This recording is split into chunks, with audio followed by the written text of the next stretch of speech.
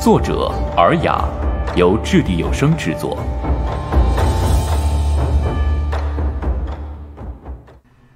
第五十二集：生猛的公孙。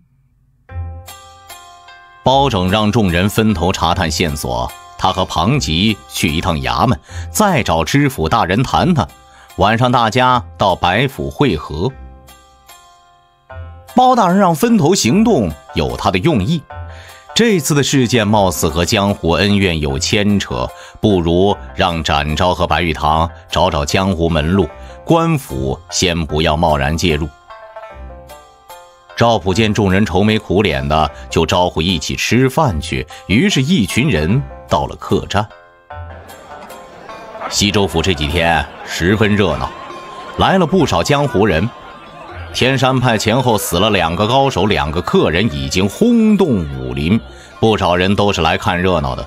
不知道这次会不会搞到江湖震动？若是能将天尊引出来，就最好了，可以一睹至尊无敌的风采。展昭他们上了二楼，伙计一眼看到白玉堂就往雅间让，十分的客气。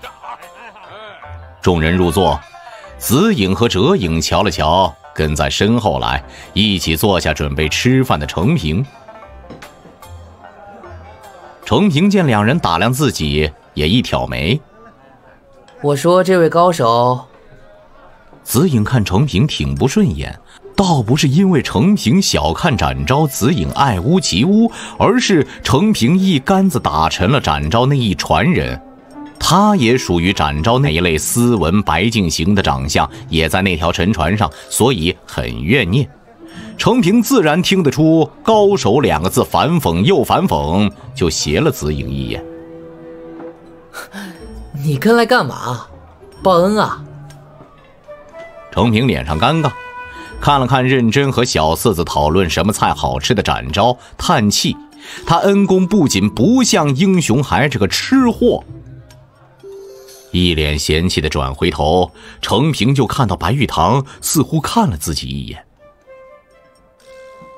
程平与白玉堂不熟悉，不过天山派的十大高手对白玉堂都抱有一种很复杂的感情。首先是嫉妒。能被天尊看上收来教几招的，基本都不是什么泛泛之辈，因此大多心高气傲。但天尊偏心太明显，除了白玉堂之外，谁都不认识徒弟。众人都不服，无论白玉堂天赋多高，不就是二十几岁一个年轻人，人和人之间能有多大差别？再者，十大高手都见过天尊。可以说，容貌和白玉堂是一个级别的，惊为天人。众人都觉得，可能天尊会那么中意白玉堂，就是因为他相貌俊美异常。说来说去，还是靠张脸。另外，零零总总各种条件加在一起。白玉堂春风得意，家世又好，年少成名，几兄弟对他都不服不忿。但是功夫没他好，谁心里都有数。于是不服也不行。但天山派十大高手从不承认，也不觉得这是因为白玉堂天分多高，而是因为他得天尊喜爱，所以教给他的也多。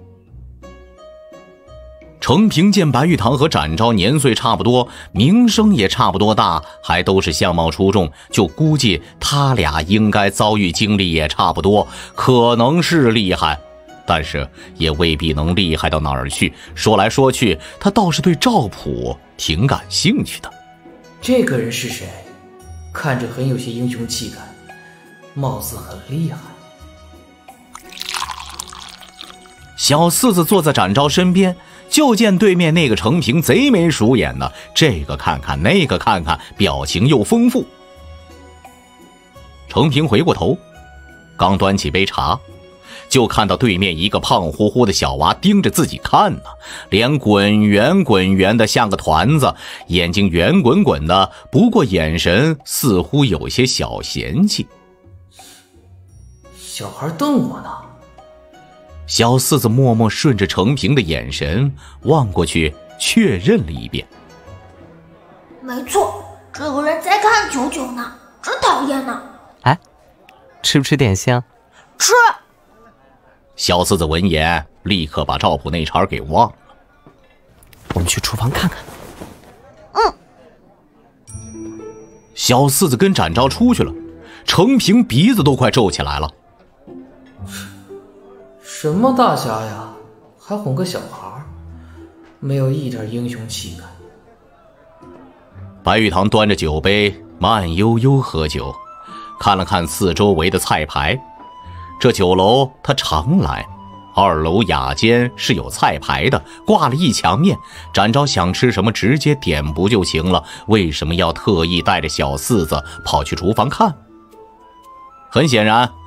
觉得有问题的不只是白玉堂，赵普也好奇的看了一眼四周围的牌子，然后看白玉堂。什么情况？白玉堂想了想，放下杯子，站起来，走出了房门。此时，展昭抱着小四子一路小跑到了后厨附近。小四子有些纳闷，展昭将它放在地上后，从袖兜里拿出了一个小瓶子，抖了抖。里面落出了一只金色的甲壳虫来。啊！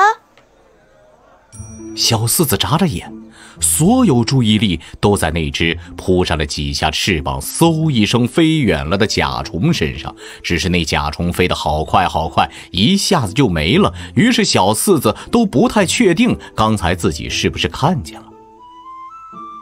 展昭收起瓶子，伸手抱起小四子，继续赶往厨房。小四子对虫子的兴趣又被甜点吸引走了。等展昭抱着他，手里拿着两串软糯糯的糖布甩出来，小四子已经基本忘记了刚才有虫子这回事儿。两人在楼梯口碰到了白玉堂，白玉堂抱着胳膊靠在一根柱子旁边，看着展昭：“你收敛点儿啊，要出人命了。”白玉堂一挑眉，不是很明白他的意思。展昭指了指四周围端着盘子、三步一回头的丫鬟们：“嗯，昏倒好几个了。”白玉堂愣了一下，反应过来，脑袋里就蹦出刚才那一句“国色天香”来了。所谓旧仇新恨一起来，一边眉毛挑起来了一些些。哇，眉毛动了！小四子一搂展昭的脖子，惊呼一声，展昭也认真点头。嗯，左边的动了，表示要生气了。快跑！小四子啃一口糖不甩，展昭抱着他一溜烟就跑没影了。白玉堂抱着胳膊站在后边，看着两人飞奔上楼。忽然明白，他要是成平，估计也接受不了这位恩公如此的开朗。白玉堂也往回走，不过没闹明白展昭跑下来是干什么呢？就这么点时间，够吗？刚上了楼，就见二楼雅间门口挺热闹。似乎是他们雅间对面的那间屋子，刚进来人吃饭还不少。有一个黑大个走在后边，白玉堂大概观察了一下背影，十分巨大。那大个子嗓门也大，和前头的人似乎正闲聊，有一句就飘进了白玉堂的耳朵里：“ 这天山派的气数，估计啊也快尽喽。”白玉堂听着有一点点小刺耳，不过他和天山派也没太大关系，于是当作没听见。哎，这天尊是不是死了？听说都一百多岁了呀。这一句，前边展昭就顿了一下脚步，回头看白玉堂。小四子趴在展昭肩膀上，凑到展昭耳边：“左边的眉毛。”展昭同情地看了那大汉一眼。白玉堂之前说过，他看不顺眼很多人，原因是他有很多忌讳。比如说，最忌讳别人骂他四个。哥哥嫂嫂，他不能忍受；又比如说，侮辱天尊或者丝毫对天尊不敬的行为，全部不可原谅；又比如说，说他好看，赞他漂亮。奇怪哦。今早急了眼，胡说八道。貌似是说了什么国色天香之类的吧？白玉堂竟然没抽刀。不过那大个子显然没意识到危险正在靠近，还问一旁的同行者：“哎，那你说这人基本活不过一百岁吧？哪有那么长寿的？”此时，展昭正抱着小四子跑到他们身后不远的地方。小四子听到了，就接了一句：“有的哦。内力深厚，平时又注重养生之道，很容易活到一百多岁呢。”小四子的嗓门在展昭听来，跟他手里的糯米糍糖不甩差不多，那么绵软，不过还是清晰的。前头那个大个子回头一眼看到了展昭和小四子。他见说话的似乎是个小孩，也没搭理。却听小四子突然开口：“老爷，你一头发黑，嘴唇发紫，人中有黑线了，命不久矣啊！”小四子一句话，大汉愣住了。后边白玉堂也愣住了。展昭眨眨眼，这孩子应该不是在帮白玉堂出气儿，在替天尊报仇，可能。是说的真话。仔细观察，这大汉的确脸色不好。嘿，他奶奶的！你个臭奶娃子，你说什么呢？大汉吼了一嗓子，他原本嗓门就大，这一嗓子吼得屋顶都抖了抖。小四子抱住头就要钻进展昭胳肢窝里去躲起来，而随着大汉的话音落下。就见雅间的大门被一脚踹开，公孙冲了出来。哪个乌龟王八蛋吓唬儿子？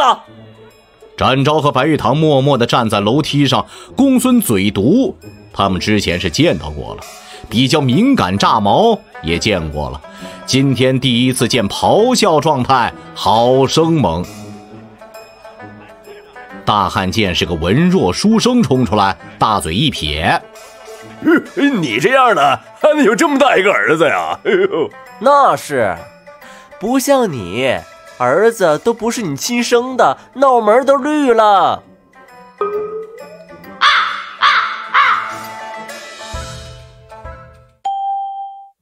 掷地有声，专注精品声音制作。